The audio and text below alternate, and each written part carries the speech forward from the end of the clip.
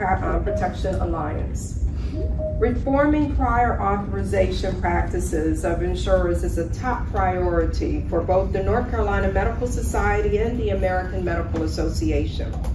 Two decades ago, we fought against these abusive practices and unfortunately they've resurfaced again in a new form. I commend this board for requesting an analysis of this important issue. Prior authorization can deprive both employers and, and um, employees of coverage that they've already paid for. We have reviewed the presentation that you are hearing today and it offers some encouraging updates regarding Aetna and the prior authorization process. It suggests a significant reduction in both the number of CPT codes subject to prior authorization and the time required to obtain approval for treatments. We believe other measures warrant your consideration and adoption. We urge the board to adopt the patient protections including in House Bill 649, which passed the North Carolina House with unanimous support last year and includes provisions endorsed by the American Medical Association and acted by other states, thus requiring insurers like Aetna to implement them. These are the common sense reforms that are recommended.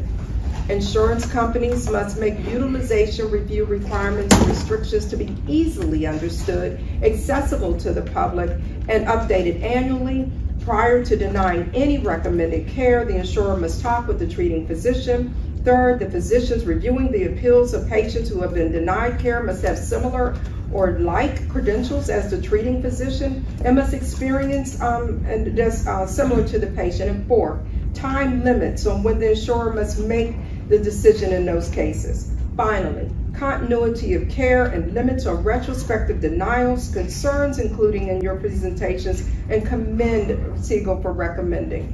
Physicians across the states have shared alarming stories in terms of how prior authorizations negatively impact their patients.